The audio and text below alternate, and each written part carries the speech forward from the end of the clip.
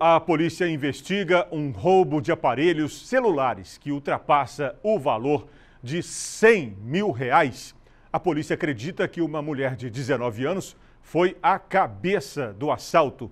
Sávio Scarabelli está de volta com outras informações desse caso. Sávio. Pois é, Saulo, a Polícia Civil realizou nesta quinta-feira uma operação né, para cumprir mandados de busca e apreensão e também de prisão preventiva contra uma jovem de 19 anos que é apontado como suspeita de ter roubado 24 aparelhos celulares de um estabelecimento comercial no bairro Horto, em Ipatinga, no Vale do Aço. O crime teria ocorrido no mês de fevereiro deste ano e gerado um prejuízo de cerca de 110 mil reais para a vítima. Segundo a polícia, a jovem de 19 anos anos teria simulado comprar um aparelho celular e ido até a loja na companhia de dois comparsas de 27 e 28 anos de idade. No estabelecimento, o trio teria surpreendido a vítima com uma arma de fogo.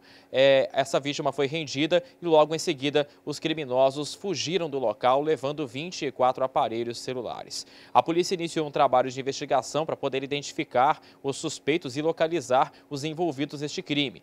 E as investigações mostraram que pessoas nas cidades de Ipatinga, Conselheiro Pena, Ubaporanga, Belo Horizonte, Uberlândia e Timóteo teriam comprado esses aparelhos celulares roubados lá na cidade de Ipatinga.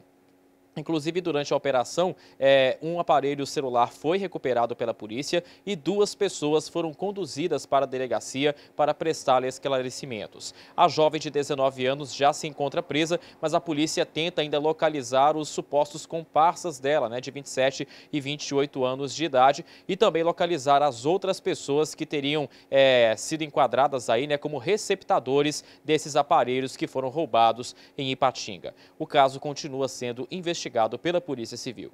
Eu volto com você, Saulo.